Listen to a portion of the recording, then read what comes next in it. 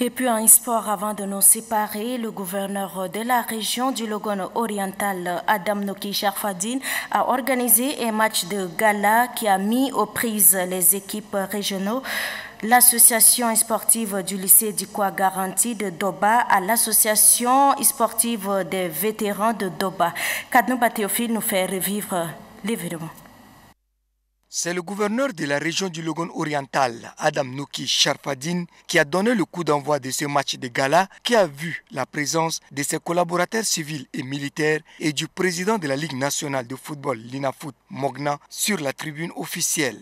Ce match qui a mis aux prises l'association sportive du lycée Dikwa Garandi de Doba et l'association sportive des vétérans de la dite ville a un double sens. Il symbolise d'abord une rentrée scolaire paisible, harmonie et cordiale entre élèves, enseignants, parents d'élèves et autorités administratives de la région, mais aussi et surtout une union sacrée des autorités administratives et leurs administrés autour de l'équipe régionale Aslicode qui vient de se qualifier pour la phase finale de la Ligue nationale de football en venant à bout de l'équipe de la région du Moïkibi Ouest. La première partie de ce match, très peu engagé techniquement et physiquement, s'est soldée sur un score vierge. C'est en deuxième mi-temps que les jeunes lycéens sont sortis de leurs réserves. Ils se font remarquer par une maîtrise technique de la balle dans tous les compartiments du terrain. Cette maîtrise de la balle va se concrétiser par deux buts. Deux buts marqués respectivement par l'attaquant de pointe Job à la 57e minute et l'ailier droit Mbappé 10 minutes plus tard.